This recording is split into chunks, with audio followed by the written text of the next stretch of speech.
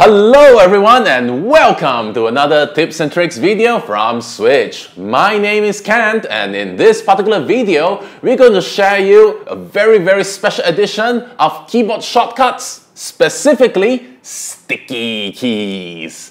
Now, if you don't know what I'm talking about, stay tuned to the video because this is a very special keyboard shortcut that you might find useful in your Mac. So let's get started. Alright, so ladies and gentlemen, what you're seeing on my screen is a OS 10 Alka standard installation that you might have on your Mac. And as with all my videos, I use a few teaching aids. From time to time, whenever you see me clicking on the screen, there'll be some feedback. This is to show you that I'm actually using my mouse. Also, from time to time, you'll see me zooming in or zooming out to focus your attention on certain aspect of the screen. So, for this video, we're going to talk about sticky keys. Now, what is sticky keys? To give you an introduction and background, here's what I'm going to do. I'm going to launch my notes. So let me just zoom in. So if I want to do something, let's say I write a few pieces of text, I want to do copy and paste. So for Mac, we always do Command A to select all, Command C to copy, Command V to paste. Now, you can't see this on my screen, but what if I'm not familiar with shortcuts? Here on the menu, you can see all the shortcuts as stated. You want to select all, Command A. So I selected all. You want to copy, Command C. But what if you need to do something more comprehensive? Let's see, paste and match style. Look at this. It's Command V with a shift with an alternate. And if you look at the keyboard, I'll need to hold down Command, alternate, shift, and V. So you need to do some acrobatics with your hands. What if there's a way that you can just simply press all these shortcut keys in the sequence and then followed by a letter of alphabet? It'll save you time and trouble. And this is the whole purpose of sticky keys. It helps you hold down the modifiers to make your life easier when you want to execute a shortcut.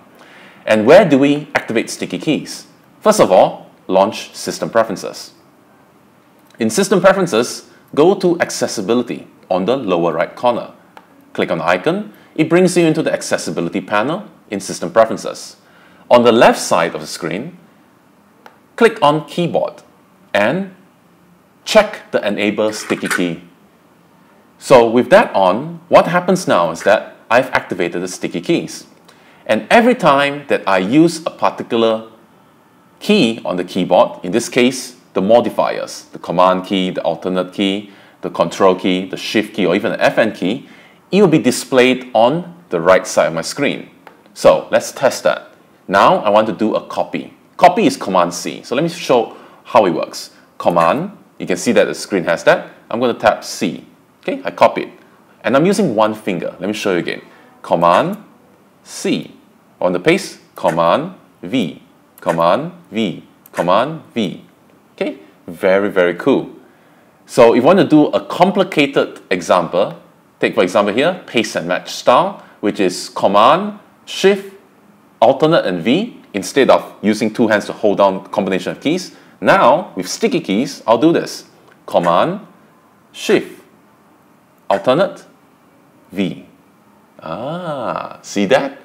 One finger, you can do almost any shortcut key combination. Let's do a few another example. Look at Go here. There's a lot of keyboard shortcuts we can use here. I want to go to the computer, Command Shift C. I want to go to my utilities, Command Shift U. Let's try.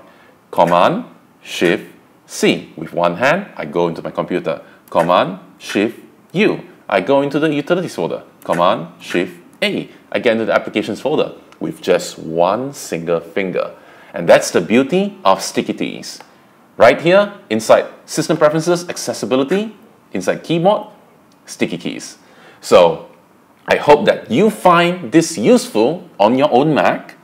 And uh, if you like this video, please support us on social media, be it YouTube, Instagram, uh, Facebook, or even Twitter. Follow us, subscribe to us, and I hope that you love this video. Thank you all so much for watching. This is Ken from Switch saying goodbye.